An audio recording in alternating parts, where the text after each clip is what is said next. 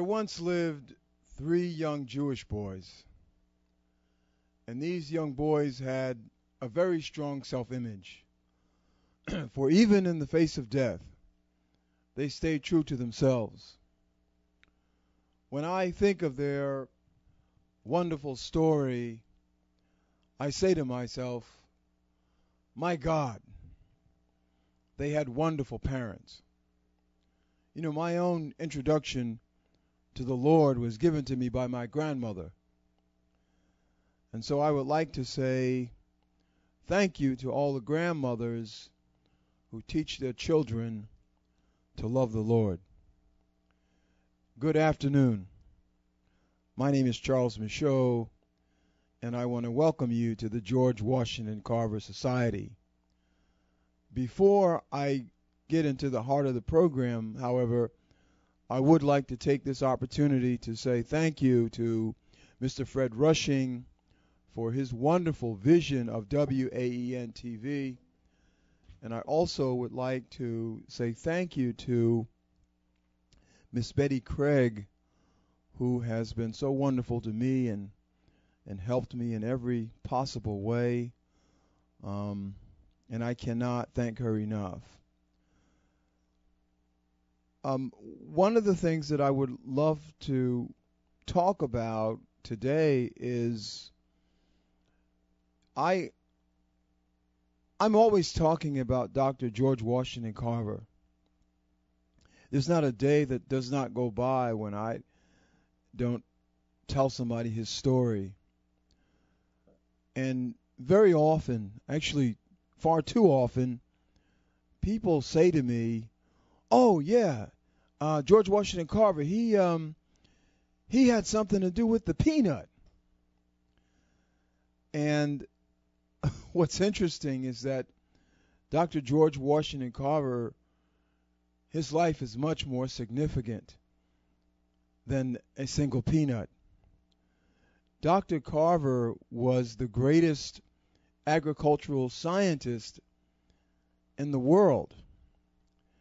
The wealth of America comes from its agriculture, from its tobacco, from its cotton, from its sweet potato, from its rubber. When the southern farmer was faced with danger of losing their crops, Dr. Carver was summoned to Washington, D.C. in 1918. He went before Congress. And when he sat in front of the body of the Congress, they said to Dr. Carver, they said, Dr. Carver, you have 30 minutes. And Dr. George Washington Carver began to speak. And they and they said, "Excuse me, Dr. Carver." They said, Sir, please take all the time that you need. In 1918, after speaking before Congress, Thomas Edison contacted Dr. George Washington Carver and offered him $200,000 to come work for him at an annual salary of $100,000. Now, from a business uh, point of view, this is a brilliant move because Dr. George Washington Carver had 325 global products from the peanut alone. He had 155 global products from the sweet potato.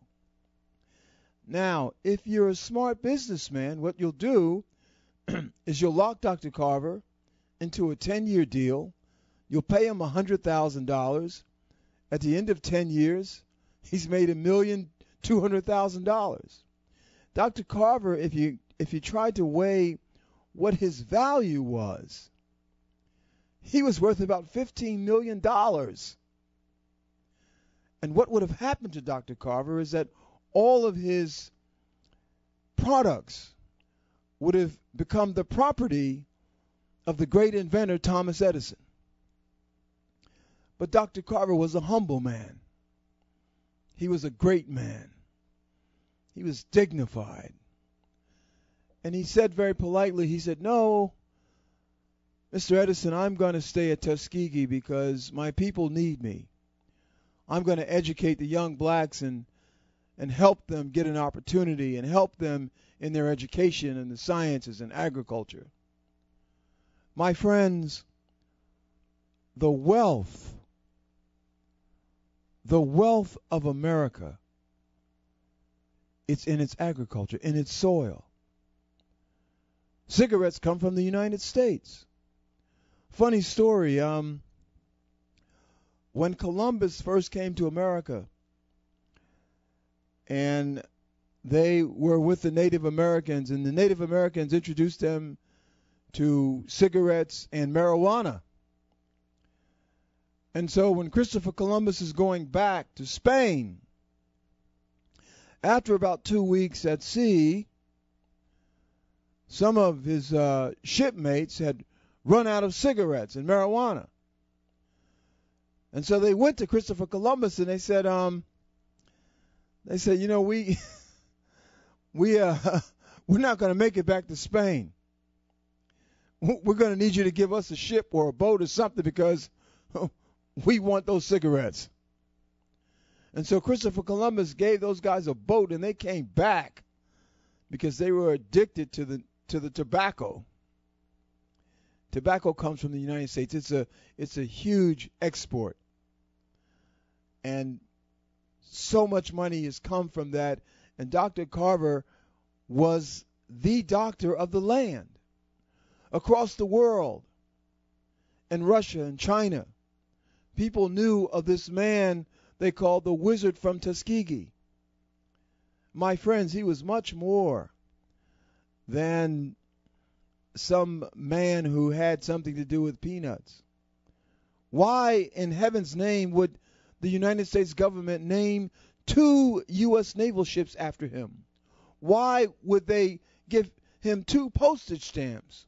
Why would they give him a 50 cent piece? Why? Why are there hundreds and hundreds and hundreds of schools that bear his name? Dr. George Washington Carver has more schools in his name than any other American in the history of our nation. And I say to you today that Dr. George Washington Carver is one of the most accomplished Americans of the 20th century. And his life is much more significant than a peanut. And when you say something like that, Quite frankly, it sounds ignorant. Because what it says to someone else is that you don't know your history, you don't know your heritage. Most people in America, and I'm referring to the Caucasian race of people, have a full knowledge of who Dr. Carver is. And they realize that he is much more. And that is why, and that is why so many institutions have bowed down and paid homage to this wonderful American. And I think that some of our parents are not doing a good job in educating their children. If you are waiting for someone else to to give you a sense of your true history, it's never going to happen. You have to go to the library yourself and share this information that I'm sharing with you today. And I must say that I only know of George Washington Carver because in 1984, when I was a young actor in New York City, I was asked to portray Dr. Carver in an off Broadway production. And up until that time, I knew nothing of Dr. Carver, and like everyone else, I only knew that he, there was something um, to do with peanuts. But once I began to read, once I began to study, once I began to try and understand, and once I saw all of the accomplishments of this great man, I realized, I realized that he is truly a giant. As a matter of fact, Dr. George Washington Carver is the first black superhero Why, in 1938, Hollywood made a blockbuster movie about his life. He's the first hero in the Hollywood movies. It's Dr. George Washington Carver. And as a small boy, Dr. Martin Luther King Jr., his hero, and the hero of his parents was Dr. George Washington Carver.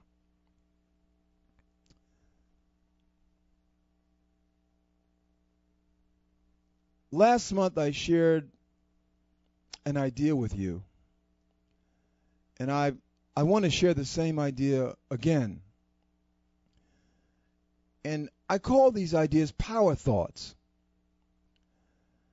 If you study a subject every day for 15 minutes, at the end of the year, you will be an expert in that subject.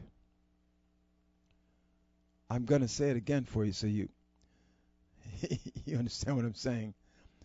If you study a subject every day for a year, at the end of the year, you will be an expert in that subject.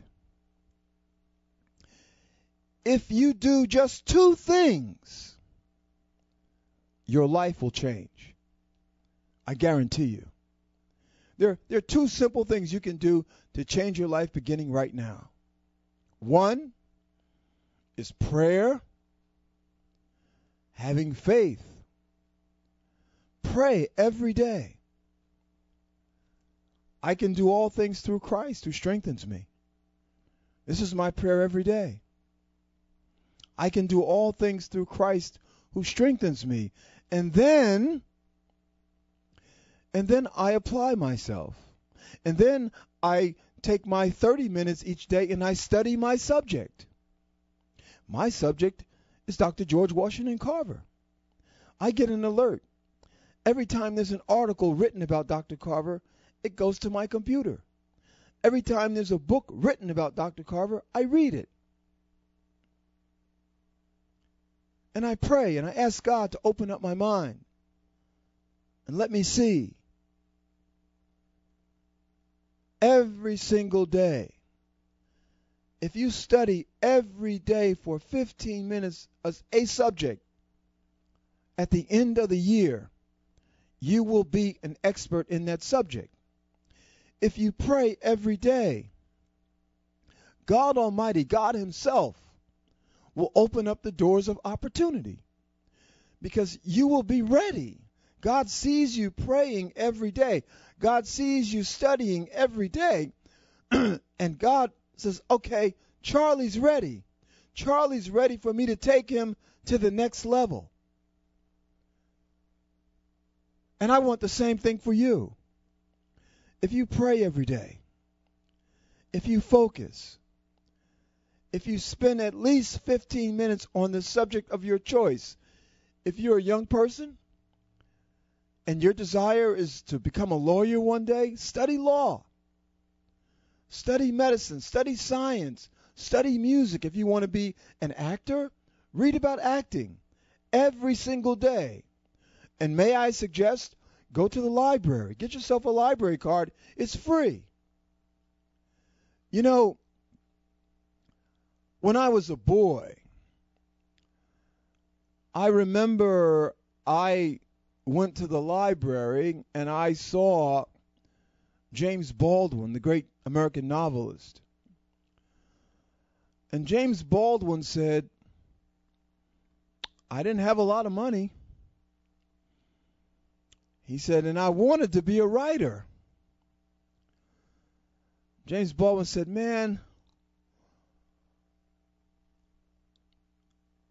I read every single book on the shelf in the Harlem Library. And as I sat in the audience, I thought to myself,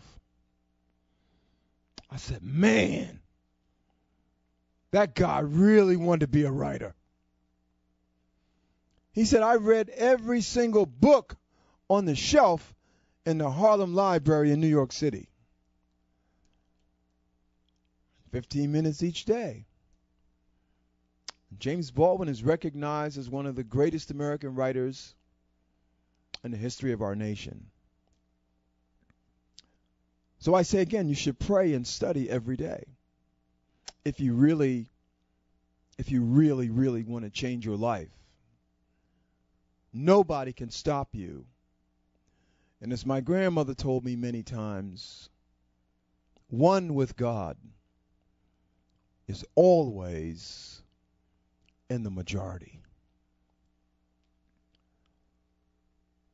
Recently, one of our beloved singers passed on, and I'm referring to the incomparable Donna Summer. Many years ago, I lived in Europe. I lived in Rome, Italy for about four years. And when I would talk to my friends in the States, oftentimes they would ask me if there was anything that, that I wanted. And and I'm I'm being very honest here. There was only one thing that I wanted at the time, and I said, just get me the latest Donna Summer album. And this this period is from 1974, 75, 76, 77. Because in Italy, you know, when a Donna Summer album came out, it took a while for, for us to get it. And I, I wanted it as soon as it came out. So when my friends in New York or Los Angeles, I would have them to send me the, the album via mail. And some years uh, passed by. And I remember one day I was sitting in my living room and Donna Summer was being interviewed. And I believe she was being interviewed on uh, Good Morning America or something like that. And and so the the person who was interviewing Donna Summer asked her, did she always know she wanted to be a singer? And Donna, and Donna Summer said, yes, I, I always, I always wanted to be a singer. She said, but there was one problem. She said, I was terrible. She said, I had a terrible, she said, I had an awful voice. She said, but I wanted to be on the stage. I, I really, I really wanted to be a singer. And Donna Summer said, I went to my mother and I was I was heartbroken and I told my mother that mom I really want to be a singer, but I know that I'm my voice is, is not it's not good. She said, but I, I still I want to be a singer. Thank God for our mothers and fathers who teach us to love the Lord. I can do all things through Christ who strengthens me. And so Donna Summer's mother said, you know, you need to pray. Donna Summer's mother said, You need to pray every day passionately and tell God you want to be a singer and apply yourself and sing. And Donna Summer said, I prayed passionately every single day. And one morning, I woke up and she grabbed her throat and she said, There was something, there was something in my throat. And she said, I knew, I knew that God had answered my prayer. And as I was sitting in my living room and I was listening to her tell the story, it was like an epiphany. And I said, Oh my God, that is the reason that I loved Donna Summer. Her voice came from God Almighty. She said, I, couldn't sing, but I prayed every day. I asked God, I asked God to, to hear my prayer, and God answered my prayer as He always does. And so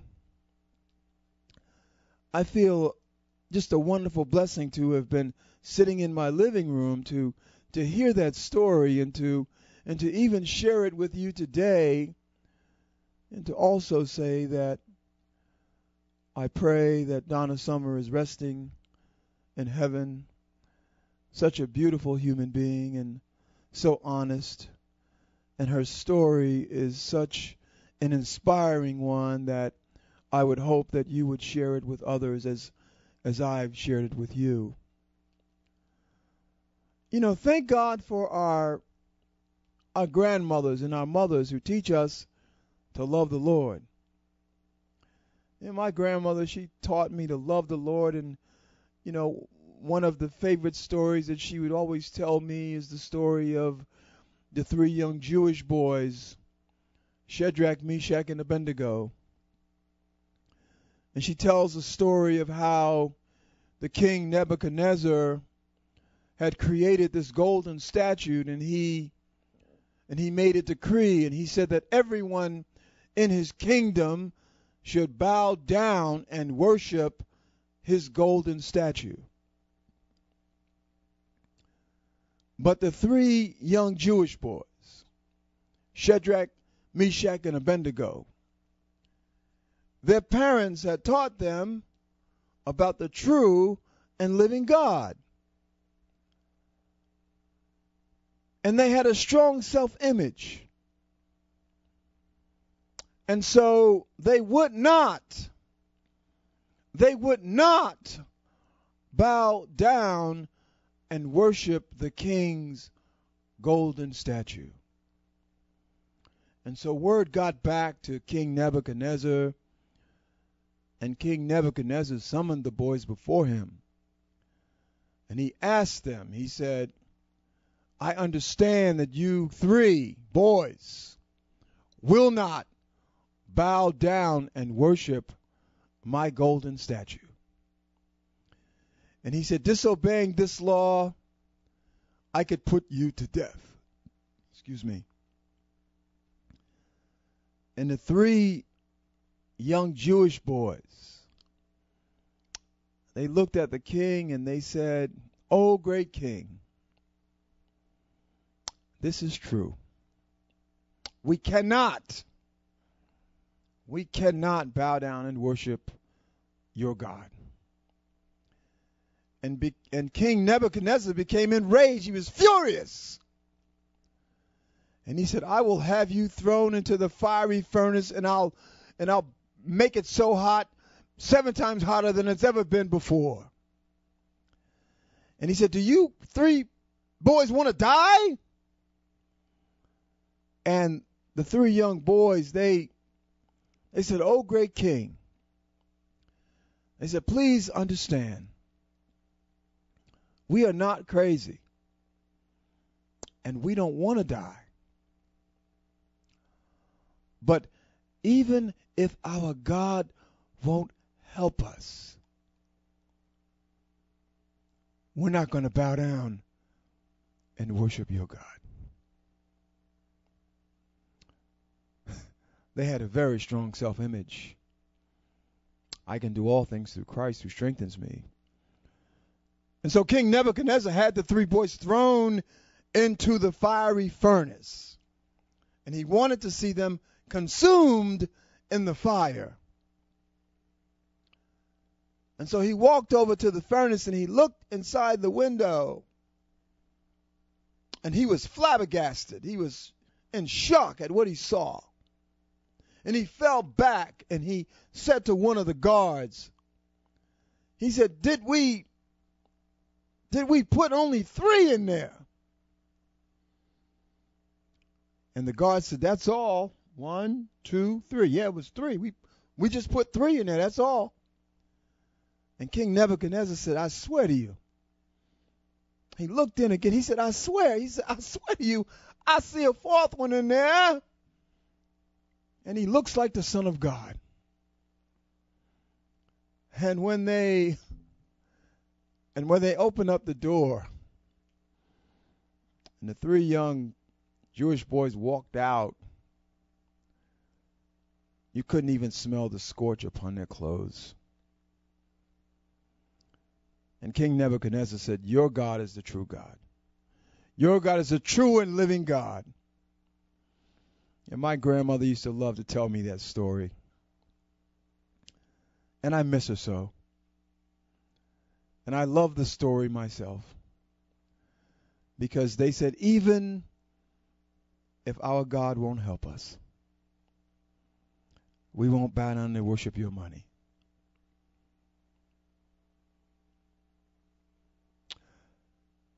Thank God for our grandmothers who teach us to love the Lord. A friend of mine told me a story about a very famous recording artist, and she does not want her name revealed, but I'll share the story with you. There was this young lady whose aspiration was to become a recording artist. And she was a very talented girl. And she had sang in the church her whole life and had entered into many talent competitions and won them all. And she, upon graduating from high school, she um, she took a job as a receptionist at a law firm, and but she was focused. She got a demo tape of her of her songs and every month she would send those out to different record companies and one day she got a phone call from one of the record companies and they they spoke to her on the phone and they said, "You know, we got a copy of your demo and man, you're you sound great." They said, "We'd like to give you an audition. We want you to come in and we want to meet with you and and see if we can't um, see if we can't work together on some projects in the future. And she was all excited, and she told her parents and she told her friends that this record company had called her, and she had an audition. And she went to her job, and she told her boss that she needed to take the day off because next Thursday she was going in for her audition with this record company, and she had to go to the mall and get herself a new dress she had to get some new shoes. She um, she arranged to get her hair done. And this was a big event for this young lady. And so she took the day off from her job and she she went out and spent money she didn't have. She bought a new dress. She bought new shoes. She got her hair done. And the day came. And so she went to the record company and she walked into this conference room and there were three people sitting behind a big conference table. And so they said to her they said tell us about yourself. And she said well she said i um i grew up in a church and that's really where i learned how to sing. I've been singing in a choir since i was five years old and i really want to be a singer like nancy wilson and one of the record executives looked at her and started to giggle. And then he said to her, he said, You know, he said, I don't think you are ever going to make it as a singer. And then he said, um, Do me a favor. On your way out, shut the door and she's standing there. She's in shock. She cannot believe what this man just said to her. he said, You are never going to make it as a singer. And on your way out, close the door. So when she finally got herself together, slowly she walked out and gently she closed the door and she took the elevator downstairs and she just stood in the lobby and tears began to just fall down her face and she got on the train and finally she got home. And um, after about an hour or so the phone rang and it was her grandmother. And um, she just started to bawl. She just started to cry. And her grandmother said, What's wrong, sugar?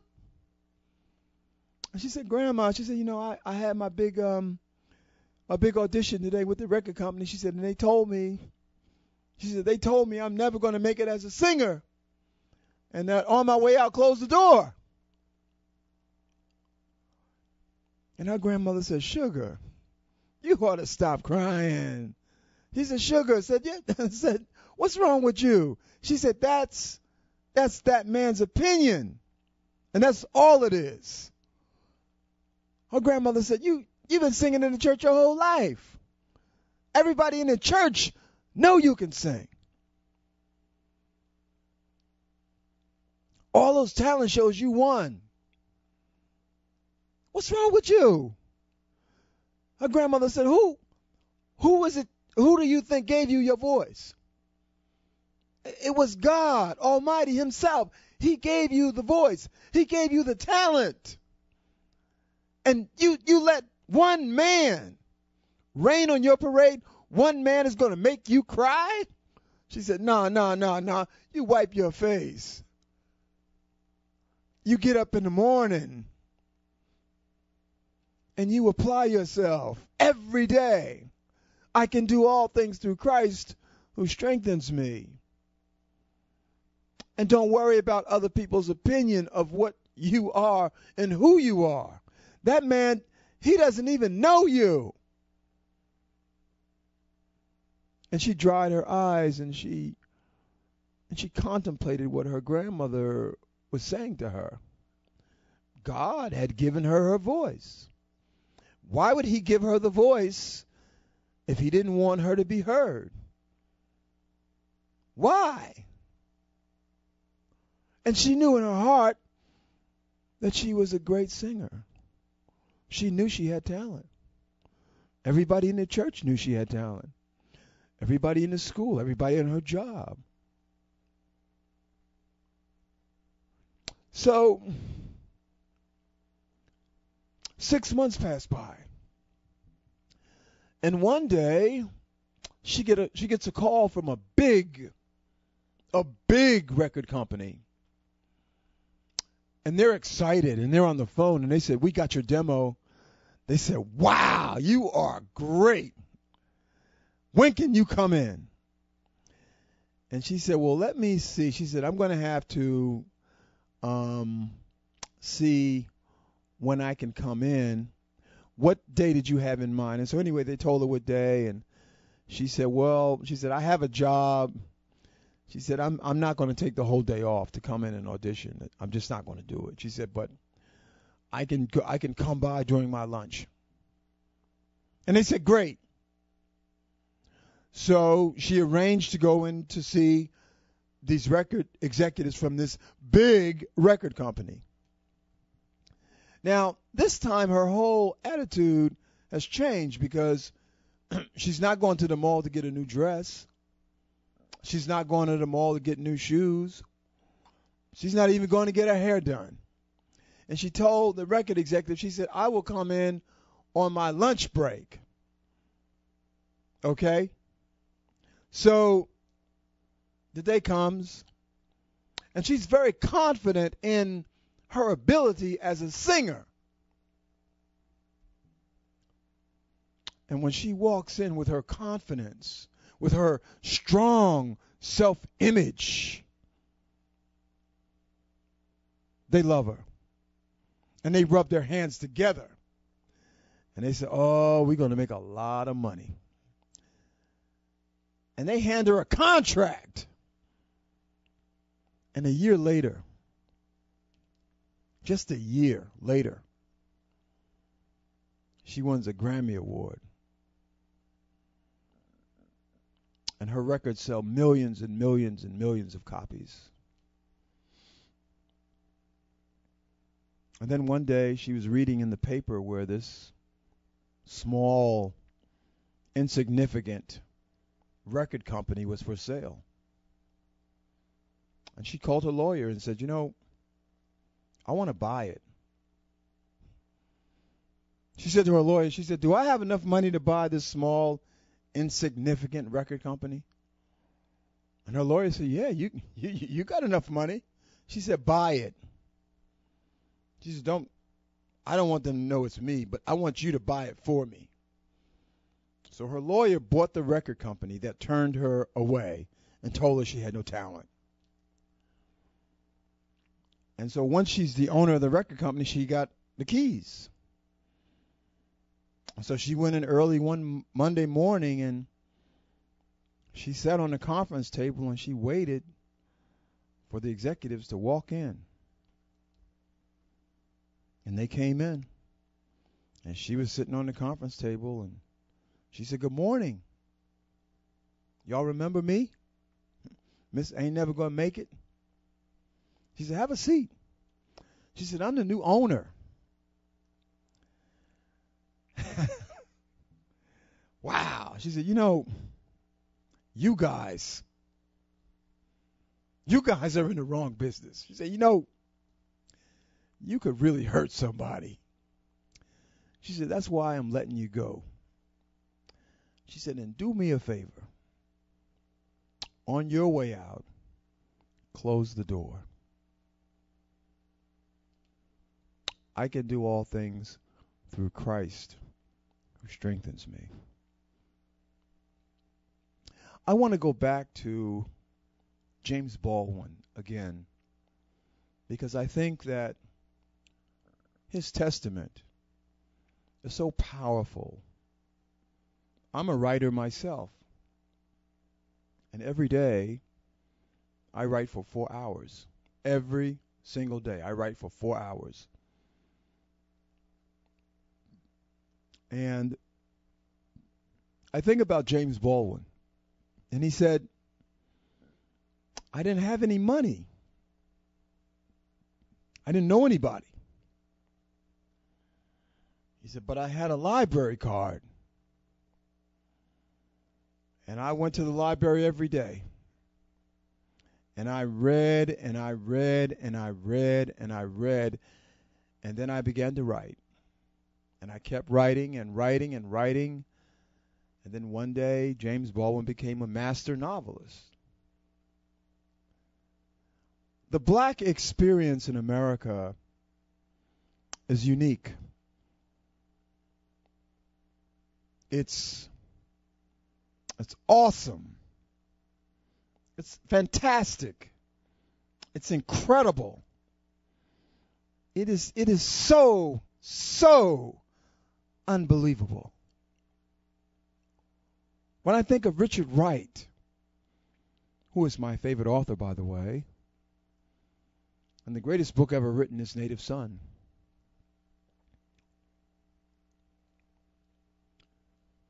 Richard Wright wanted to be a writer too. And as a boy, he used to forge a note he would write a note himself and pretend that it was a note from some white man that he was working for, and he would take the note to the library and give to the librarian just so he could check out books to read himself.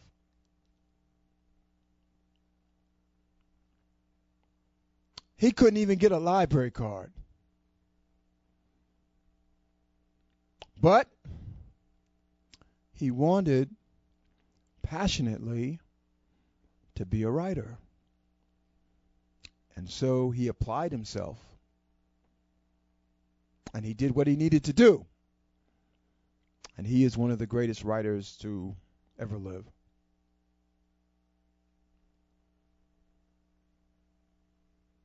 You know, our our story as, as black Americans in America is really it's uh it's so powerful. I think about some of us not wanting to register and vote. And I think about Dr. King who went to jail 30 times. I said 30 times he went to jail. I mean, I would I would encourage you to Google Bloody Sunday and see what comes up.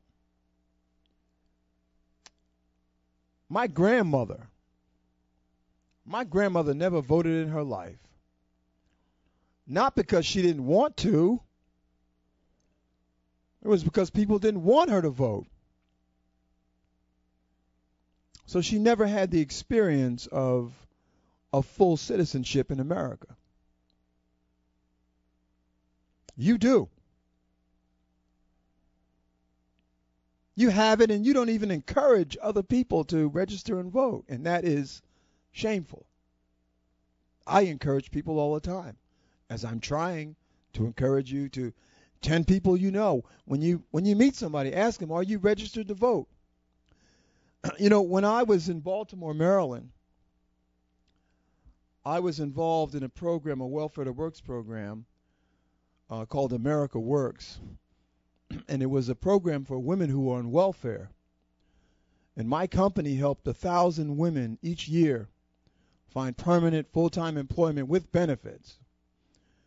And the program was so successful that at the end of our contract, the state of Maryland had come to my company and said, listen, we want to do a program for ex offenders, and we want Charlie Micheaux to run the program. And we're going to give you $2 million for this program. And so I was excited about it, and I went down to the prison the Maryland State Penitentiary, which is the oldest prison in the United States.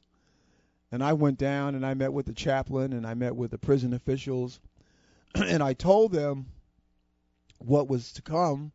I told them that we were going to do this program and that we were going to be given $2 million to do the program to help ex convicts, guys who had been in prison who've gotten out.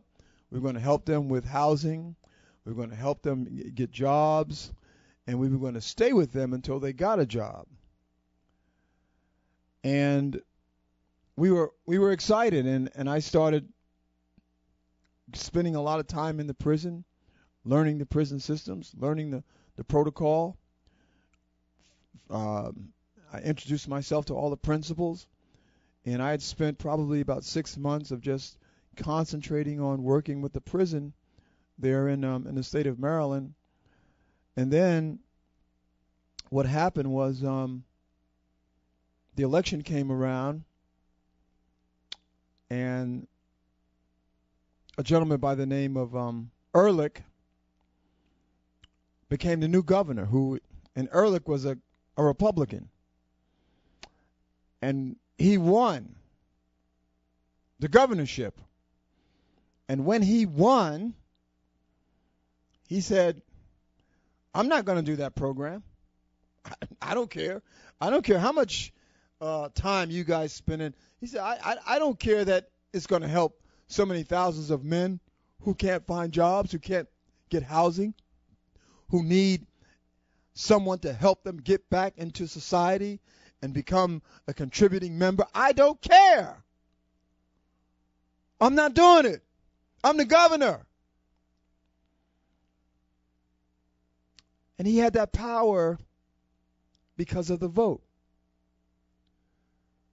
Because of the vote. And and I must say, and I'm, and I'm being honest, and I'm never going to lie to you, his act was so awful.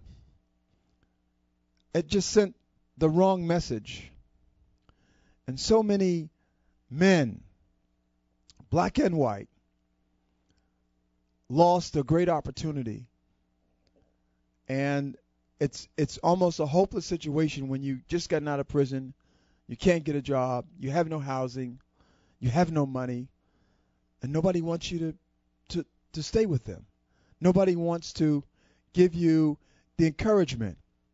And so I would say to you, register and vote. Um, I want to share a, a, story with you um, that illustrates the power of prayer and study. The story of David and Goliath. One day, David um, was going out to um, to bring his his brother some food that his mother had made, and And while he was there, Goliath, the giant, was cursing God and talking trash. And David, who happened to be just a boy, he um he stepped up. He said, "Hold on there, Goliath. So you can't talk about my God like that. Not while I'm standing here." Goliath looks at David and said, "Who are you? You you little scrawny boy." Goliath, who was about nine feet tall and weighed close to 600 pounds. And David said, I'll tell you what. David said, let's battle you and me. And Goliath started to laugh. He said, What's wrong with this kid? He's lost his mind. He wants to fight me, Goliath, king of the giants. And David said, I'll tell you what I'll do, Goliath. He said, If you come back here at 12 o'clock today, he said, I'm going to kill you, and I'm going to cut your head off, and I'm going to feed it to the birds. And Goliath was enraged. He said, Okay, I'm going to be, you come back here at 12 o'clock. 12 o'clock came. And before the, before David went, his father wanted to give him his armor and so forth and all these different weapons. And David told his father, he said, No, no, no, Dad, I'm I'm good. He said, God Almighty, God who delivered the bear and the lion into my hand, is going to deliver this Philistine into my hand in the next hour. And David said, I have everything I need. And what Goliath did not understand was David was an expert with the slingshot. He was one of the top people in the world. I mean, as a little boy, he had a slingshot. He could kill a fly with a slingshot because he practiced every day for 15 minutes. But Goliath didn't know that. So, anyway, they meet. Goliath charges David. David very casually reaches into his pouch, pulls out a stone, and pops Goliath in the center of his forehead, knocks him down, and then he walks over and pulls out Goliath's sword out of his sheath and cuts his head off, and then shows it to the other giants, and they scatter. They run. And David is the victor. And every time, the God that we serve, if we are right, he will fight our battles. A young slave boy stood one day before the greatest ruler of his day. And God said to Moses, What's in your hand? And Moses said, Lord, only I've got a stick, that's all. And God said, Well, let me use what's in your hand. And God used that slave boy with a stick in his hand to divide the Red Seas, to march through a wilderness, to bring water out of rock and manna from heaven, and lead his people to freedom land. What's in your hand? What's in your hand, George Washington Carver, who was so frail that he was traded for a broken down horse as a slave boy. And Dr. George Washington Carver, sitting in the science laboratory of Tuskegee, he said, You know, I just get up each morning at 5 o'clock and I go out into the field and I pray and I ask God to guide me. And then I bring back these little things and I work them over in my laboratory.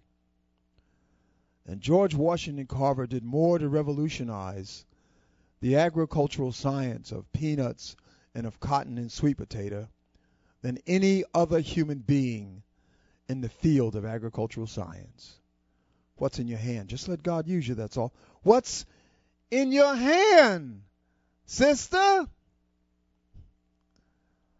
What's in your hand, 42 year old seamstress from Montgomery, Alabama? I've got 10 cents in my hand. And I'm trying. I swear, I'm trying to ride the city bus. But they won't let me. And Rosa Parks, with just 10 cents in her hand, sparked one of the greatest civil rights battles this country's ever known. Just letting God use two nickels in her hand. What's in your hand, brother? What's in your hand, little hunchback sitting in a Roman jail? Oh, I haven't got anything in my hand but an old quill pen. And God said, Write what I tell you to write. And Paul wrote, I have run my race with patience. I've finished my course. I've kept the faith. Henceforth there is laid up for me a crown of righteousness. What's in your hand? What's in your hand? I've got a string in my hand and I'm flying a kite. Way up in the heavens, lightning strikes it, and I, Benjamin Franklin, discover for the first time the possibilities of electricity.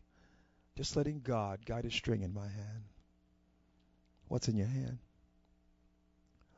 What's in your hand, little boy? All I've got is a slingshot. And the enemies of my people are great and big and more numerous than we are. He said, Well, little David, go on down to the brook there and pick out a few stones and oh, come on back. Close your eyes if you want to. And pull back that slingshot and let him go. And little David killed the biggest enemy of the leader of the giants against his people, and his people became free, just letting God guide a stone in his hand. What's in your hand? What's in your hand? Man hanging on a cross. I've got two nails in my hands. Father, Abba, I stretch my hands to thee. No other help I know. If thou withdraw thyself from me, whither shall I go? And that man, that carpenter, with two nails in his hands, split history in half, BC and AD. And I say to you today, that there is a God who rules above. The hand of power and the heart of love. And if we're right, the victory will be accomplished sooner than we dreamed, sooner than we hoped for, and sooner even than we imagined. Thank you and every good wish. Bye.